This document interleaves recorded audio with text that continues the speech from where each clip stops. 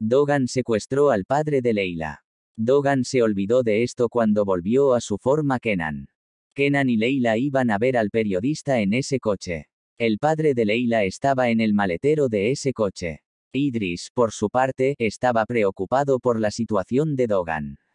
Dogan ahora quería vengarse de Kenan. Todos se enteraron del misterioso incendio del dormitorio. Leila y Kenan podrán hablar con ese periodista. La persona que impediría esta conversación era el padre de Leila.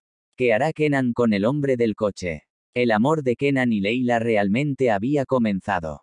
No olvides suscribirte y dar me gusta al vídeo para ver más videos como este. Gracias por ver.